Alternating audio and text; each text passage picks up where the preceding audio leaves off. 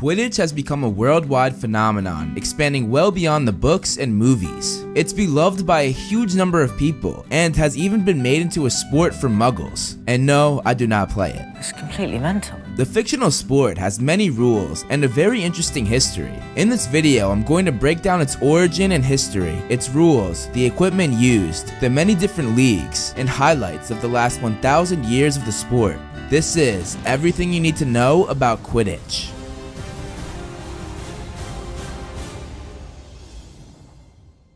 So let's start with how the game is played before we jump into the history. It's played on a pitch that is shaped like an oval. It is 500 feet long and 180 feet wide. Each team has 7 players, 3 chasers, 2 beaters, 1 keeper, and 1 seeker. The chasers control a leather ball known as the quaffle. They try to get it through the 3 looped goalposts at the end of each side of the field. There's a scoring area around these posts, and if more than one chaser is in there at one time, they get a penalty. The keeper's job is to stop the quaffle from going into the goalposts. If the quaffle gets by the keeper and into the goalposts, it's 10 points for the other team.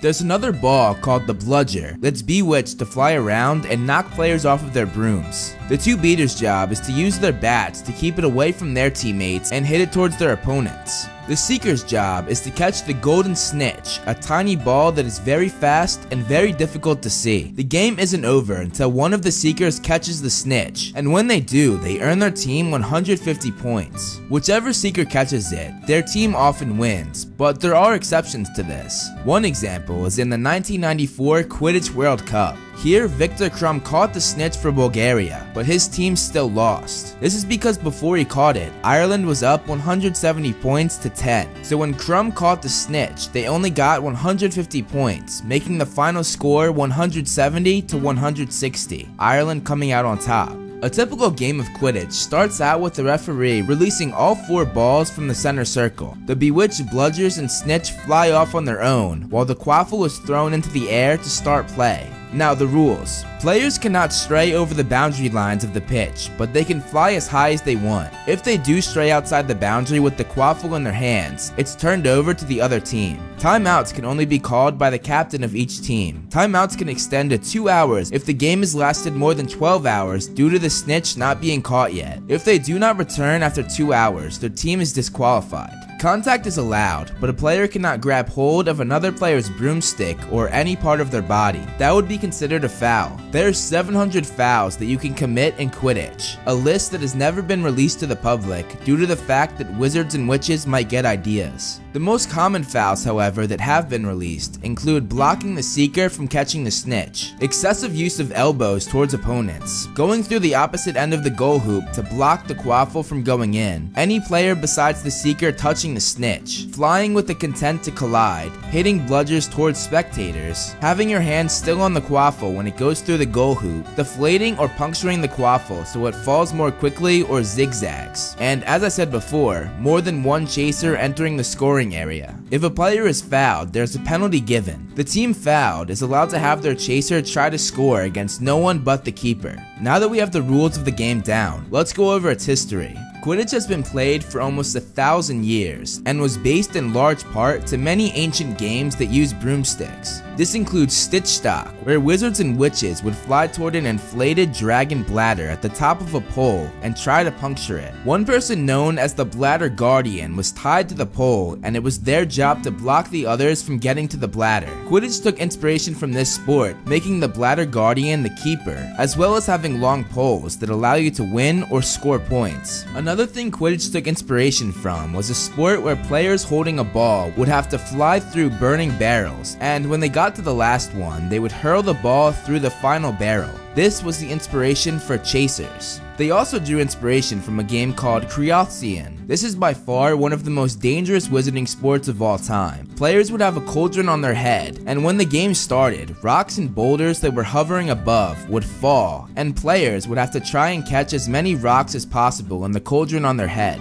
This was the inspiration for beaters. There was another game called Shuntbumps, which is basically just jousting but on brooms. And finally, Swivenhodge, a sport that's basically tennis, but with a bat and a blown up pig's bladder. The bat hitting the blown up pig's bladder is another inspiration for beaters hitting bludgers with bats. Quidditch took inspiration from all of these games to create its own original sport. We get the name Quidditch from Queerditch Marsh. This was the location of the first ever recorded game. It was written down by a witch named Gertie Keddle. It was mostly her complaining about them playing, but her writings reveal much more than her just complaining. She mentions how the ball landed in her cabbage patch, which was made of leather. Leather is the same thing that they use to make the quaffle today. She also mentions how they were trying to stick it in the trees on either end of the marsh. This of course references the goalposts. Thirdly, she mentions how they were trying to knock each other off their brooms using two big heavy rocks. This references beaters and the bludgers. She also mentions a big Scottish warlock. The Scottish are the people that made Creaothceann, it might have been his idea to use the rocks, paralleling the falling rocks and boulders in the game his people created. Throughout the next century, the game progresses vastly and gets much more popular. Its organization had also gotten much better. The game was now called Quidditch, but spelled with a KW instead of a Q. There was now a position called Catcher, an early version of a Chaser. There was also a Blooder, an early version of a Bludger and there were actually official beaters with clubs who hit the blooders to try and knock the catchers off their brooms. The goals were no longer trees as they were a hundred years ago, but rather barrels on stilts. The basic game was pretty much all the way there, but the one thing that was still missing was the golden snitch. I covered the origins of the snitch in detail in my last Harry Potter video, so I'll just do a brief explanation for that here. If you want the full origin in detail, I'll link that in the description below. In 1269, the Snidget was introduced to Quidditch. Snidgets were round, fat birds that were covered in golden feathers. It had rotational wings, allowing it to change direction very fast and very easily. The first time a Snidget was used in a match, every player was told to catch it, and that if they did, they would receive 150 galleons. This made every player abandon the balls and the goals to catch the bird. This obviously would not do, as it makes the whole focus on the Snidget rather than the actual game. They fixed this by making a new position called a hunter. It was their job to catch and kill the Snidget. When they did so, the game would be over, and their team would get an extra 150 points. The Hunter, of course, later became known as the Seeker. Eventually, the Snidget population dropped rapidly. To save them, they were made a protected species. It was now illegal to kill or use the bird for Quidditch. This led to the invention of the Golden Snitch, made by a man named Bowman Wright. He made it the same size and weight as a Snidget, and made it have the same rotational wings, allowing it to move and change direction at quick speeds just like its living counterpart. With the addition of the Snitch, it formed the sport of Quidditch that we all know today.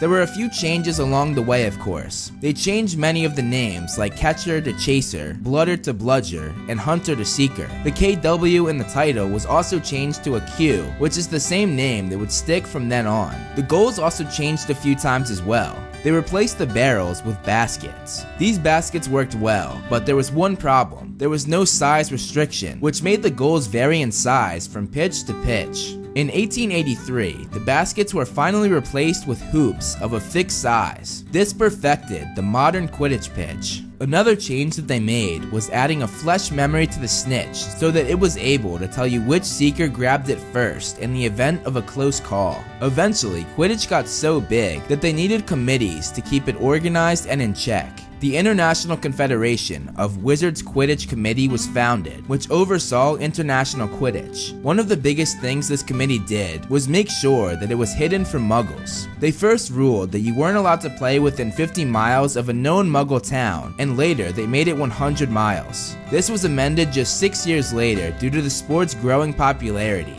Everything changed in 1692, however, when the International Statute of Secrecy was created. This ruled that all wizards had to go into hiding and could not reveal themselves to muggles. This caused many problems for Quidditch. After a long battle and many protests, they finally came to the agreement that all ministries of magic would be responsible for hiding the Quidditch played in their country. The Department of Magical Games and Sports was also created to enforce this. Any Quidditch team that disobeyed these guidelines were disbanded. This happened to the Banchory Bangers when they sent the bludger off into the night and all of them, very drunk, set out to capture a dragon that they wanted as their mascot. They were intercepted by the Ministry of Magic and were disbanded immediately. Today, ministries take precautions like adding muggle repelling charms. For the 1994 Quidditch World Cup, they put a charm around the stadium that made it so every time a muggle got anywhere near the stadium, they would suddenly remember urgent appointments they had to go to, forcing them to turn around and dash away from the stadium.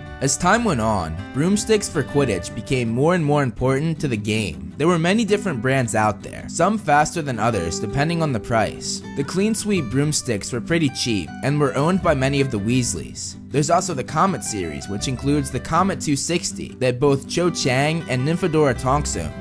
During the course of the seven books, we learned about the three fastest broomsticks. First was the Nimbus 2000, which was Harry's first broom. At the time that he got it, it was the fastest ever created. The following year, however, the Nimbus 2001 came out, Nimbus outdoing themselves. Draco's father bribed the Slytherin team to let Draco join by buying all of them brand new Nimbus 2001 broomsticks. Those are Nimbus 2001s.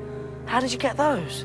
Gift from Draco's father. Nimbus was now considered to be the best broom brand in the world. The Nimbus designers, however, were knocked from their number one spot just 12 months later. The Firebolt was a top secret project before it came out. It was developed by Randolph Spudmore. He was the first to use Goblin made iron, giving it additional stability, power in bad weather conditions, a special non-slip grip, and more speed than any other broomstick in the world. The secrets of how he did this are not fully understood, even today. Harry was one of the first to own this broom when his godfather Sirius bought it for him. Over the years, many leagues for Quidditch were created. The league that we hear Ron, Harry, and the others talk about the most is the British and Irish Quidditch League. Ron's favorite team is the Chudley Cannons. They actually joined the international tournament in 1972, but had no faith that they would win, changing their motto from We shall conquer to Let's just keep our fingers crossed and hope for the best. Some other notable teams from the British and Irish League include the Holyhead Harpies, who are unique because they're the only all-female team. Gwenog Jones, a former Hogwarts student, was the captain for many years. Gwenog Jones, captain of the Holyhead Harpies. Free tickets whenever I want them. There's also the Montrose Magpies, who were the most successful team in the league, having won 32 times. The Tutshill Tornadoes are another team we hear about in the series because they're Cho Chang's favorite team. They're famous for winning the league five times in a row. They also recorded the fastest ever win in the league, catching the snitch three and a half seconds into the match. The oldest team in the league is Puddlemere United. They were founded in 1163. This is actually Dumbledore's team of choice, and it's also the team that Oliver Wood, Gryffindor's former keeper and captain, played on after he finished at Hogwarts. The Wimbourne Wasps is another team worth mentioning. They got their name after one of the players batted a wasp's nest at the opposing team's seeker in the mid 17th century. This is also the league that the Banchory Bangers were in before they got disbanded for trying to find a dragon as I mentioned earlier. A team in the league called the Appleby Arrows had a fan tradition that every time a chaser scored, they would shoot arrows into the air from their wands. This was banned by the Department of Magical Games and Sports after one of the arrows pierced the referee in the nose. Hogwarts, of course, had its own league with four teams, one for each house Gryffindor, Ravenclaw,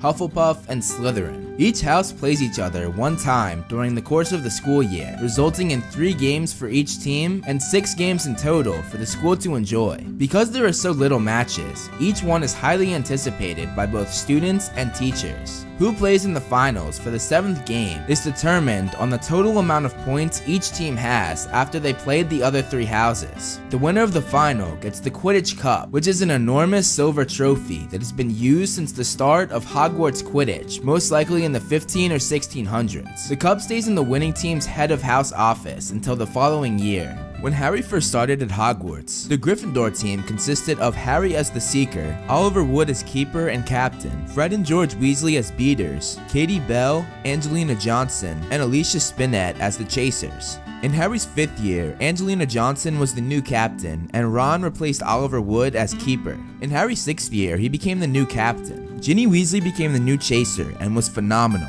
She also replaced Harry as Seeker and was again phenomenal. After she finished at Hogwarts, she would go on to play professional Quidditch for the Holyhead Harpies, the only all-female team. Some other notable Gryffindor players include Charlie Weasley, who could have gone pro as a Seeker if he had wanted to. Harry's dad, James Potter, was also a very good chaser during his time at Hogwarts. Minerva McGonagall was another great player before she got a career-ending injury. The Slytherin players include Marcus Flint, who was the captain and a chaser, and as I mentioned before, Draco Malfoy was the Seeker during his second year. For Hufflepuff, there was Cedric Diggory, who was a phenomenal Seeker. For Ravenclaw, Roger Davies was a captain and a chaser. Also, Cho Chang was their seeker. Most of the remaining history for Quidditch has to do with the Quidditch World Cup, which is by far the biggest, the most followed, and the most attended Quidditch event in the world. The very first one took place in 1473 and has been played every four years since then. Any country can enter the tournament, and the number of teams varies per year. Once every team is in, they divide them into 16 groups. Over a two-year period, one team comes out on top for each of the 16 groups. During the group phase, each match is capped at 4 hours to prevent player exhaustion, meaning that sometimes the snitch isn't even caught, and the game is decided on goals alone. A win counts for 2 points. A win by more than 50 points counts for 3. A win by more than 100 points is 5 and a win by more than 150 is 7 points. The team with the most points wins and moves on to the playoffs. In case of a tie in points, the winner is the team who caught the snitch the most often or the most quickly during its matches. The remaining 16 teams are ranked according to their points from the group round. They make a final bracket based on that, and it works just like any other playoff bracket.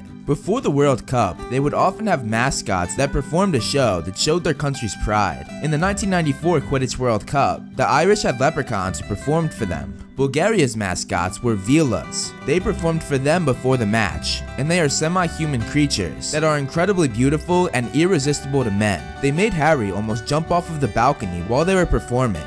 Over the years, there were many interesting tournaments. In the very first tournament, in 1473, all 700 possible fouls were committed in the final. In 1809, when Romania was playing Spain, Nico Nanad, a player on Romania, was known for his ferocious outbursts during matches throughout the season. His team tried to substitute him for the final, but were denied. During the final, when his team was losing, he and many other Dark Wizard accomplices in the stands jinxed the forest next to the stadium, making the trees spring to life. They marched upon the stadium, flattening everything in their path, causing numerous injuries and several fatalities. The match turned into a human versus tree battle that lasted for 7 hours. The humans finally won, and Nanad was killed by a very violent spruce. In 1877, there was a match that nobody remembers. The match was planned, a venue was chosen in the Rin Desert, publicity materials were produced, and tickets were sold. In August, however, the Wizarding World woke up to the fact that they had no memory of the tournament taking place. Neither those in possession of tickets, nor any of the players could remember a single thing. However, players had teeth missing, their knees backwards, and half of the Argentina team was found tied up in the basement of a pub. What had or hadn't taken place has never been satisfactorily proven. Theories range from a mass memory charm by the Goblin Liberation Front, or even a massive outbreak of Spattergroit which causes severe confusion and memory loss. They ended up restaging the tournament the following year in 1878, the tournament that took place in 1974 was an interesting one because Royston Idlewind, the new international director and former Australian Quidditch player, said that he loved the sport but hated the fans. He had mistrust with the fans. This led to him banning wands from entering the stadium, and fans boycotted. While the crowd turnouts were low, the appearance of the simulators started to show up. They were multicolored tube-like objects that emitted loud cries of support and puffs of smoke in the international colors. As the tournament progressed, the Dissimulators craze grew. By the time the final came around, both the crowds and the Dissimulators had grown to an insane record-breaking number. Everyone had their own Dissimulator, and when Idlewind made his appearance, 100,000 Dissimulators went off and were transformed into the wands that they had been disguising all along. Humiliated, Idlewind resigned instantly. The 1994 Quidditch World Cup might have been the most famous scandal when a number of ex-Death Eaters put on masks and started destroying the campsite. They then went after the Muggle landowners, levitating them in the air. The Dark Mark then reappeared for the first time in 14 years, making the Death Eaters in masks run for it. The Dark Mark had been cast by Barty Crouch Jr., who was helping a very weak Voldemort make his return to power. This led to the Ministry of Magic in England getting into trouble, as it was their job to make sure that the statute of secrecy and security was in check. They were heavily censored after this. Royston Idlewind came out of retirement to make a statement saying, a wand ban doesn't look so stupid now, does it? As I said before, Krum had caught the snitch in the 1994 Quidditch Final, but his team still lost. Krum faced another loss in 2002 when he was narrowly beaten to the snitch by the Egyptian Seeker. In 2006, a small African nation won when Seeker Joshua Sankara made an amazing catch. He was promptly made Minister for Magic for their country, but he resigned two days later saying that he'd much rather play Quidditch. In the 2010 tournament, a match that is considered to many to have produced some of the finest Quidditch seen this century lasted three whole days. The 2014 Quidditch World Cup was covered by Ginny Weasley, where she wrote several stories for the Daily Prophet alongside Rita Skeeter. Harry and their kids joined her, and they got to watch the match in very good seats. Ron and Hermione made an appearance, and as did Neville Longbottom and Luna Lovegood. This tournament saw the return of the famous seeker Viktor Krum, who had previously retired. He was 38 when he returned, which is quite old for a seeker. He said that his aim was to win the World Cup before he died, something that he has not yet been able to do. Krum played magnificently throughout the tournament, beating players much younger than him. In the final, Bulgaria faced Brazil, and Krum caught the snitch, winning the game and the Quidditch World Cup for Bulgaria, completing his lifetime ambition. Tears poured out of his face because he was so happy. Quidditch will always be one of the most creative fictional sports, and it has developed into such an interesting story. It brings both wizards and muggles together, enjoying this phenomenal game. Thanks so much for watching, guys. You can follow me on social media. Links for that will be in the description. And I want to give a huge shout out to all my patrons listed below. If you want to be listed on my next video, plus a bunch of other rewards, check out my Patreon, which is linked down below. If you enjoyed this video, make sure you press that subscribe button to help grow the channel. Again, thank you so much for watching, and look out for more great videos on the way.